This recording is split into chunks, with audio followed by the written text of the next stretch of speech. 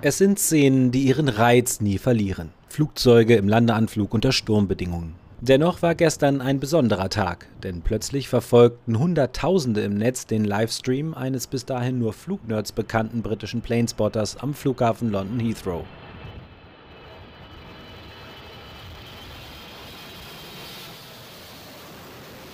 Planespotter ist der Begriff für Fliegereifans, die sich mit Kamera und gegebenenfalls Livestream-Equipment ausgerüstet in den Einflugschneisen der Flughäfen postieren. Easy, easy, easy, easy. Go on, son. Oh, okay, tippy toe. Is it too cold? Yeah! Big swing, man! Doch Jerry Dyer, der seit 2015 Flugzeuglandungen filmt, bringt Planespotting auf ein anderes Level. Denn er kommentiert live im Stil eines Sportreporters. So you would have thought that they, these kind of conditions they'd uh, dwell on it. This is really intense now, man. Oh yeah. Whoa! He's down, he's up, he's down. This is where the skill of the pilot really comes in. Vielleicht ist Dyers Kommentierung der Grund, warum er am Freitag mit seinem Livestream vor allem in Großbritannien auf prominenten Twitter-Kanälen auftauchte. Die sorgten für entsprechende Reichweite unter ihren Usern.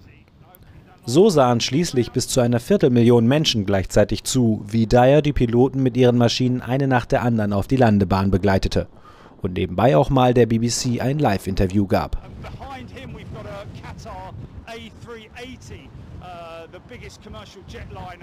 With a passenger jetliner that is. Oh, hold on a minute. No, uh, sorry, no, uh, you're right. the um, Yeah, he went around just now, and if he goes around three times, he's got to divert somewhere. So we. One-Hit-Wonder-Gefahr besteht bei Dyer nicht. Er filmt nach eigenen Angaben mindestens einmal pro Woche am Flughafen Heathrow, bei Sturm oder Starkwind auch öfter. Praktischerweise wohnt er in der Nähe.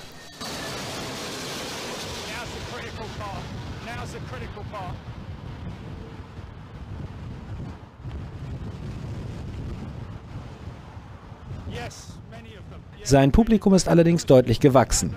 Die Abozahlen seines YouTube-Kanals haben sich innerhalb von 24 Stunden fast verdoppelt auf rund 250.000.